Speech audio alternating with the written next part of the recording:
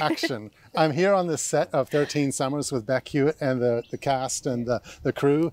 Uh, Bec, this is a really, um, it's a wonderful movie you're filming here. Can you tell us a bit about what the, the movie's about? Oh, well, it's very different to what I've done before. So, a bit of a psychological thriller, um, which these locations just are amazing for that kind of setting. Um, yeah, so my character is. Uh, a a real estate agent, Yeah. I guess, and um, yeah, I don't want to give too much away. No, no.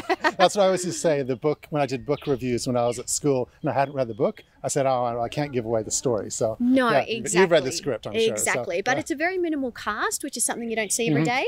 Um, but that's because it's all set mo- mainly in this location. Yeah, yeah, and so it's been a good so far. Your your time here on the Fraser Coast. Oh, I love it. The crew are so lovely. The people Hmm. in Hervey Bay are so lovely. So I'm having a really good experience. Yeah, thanks, Bec. We're really excited about the future for filmmaking here on the Fraser Coast. We want to see more ma- movies being made here, like 13 Summers, and um, we wish you all the best for your time here. And we hope Thank you've been felt very welcome here in the community. I have indeed, and I can't wait to see the end product.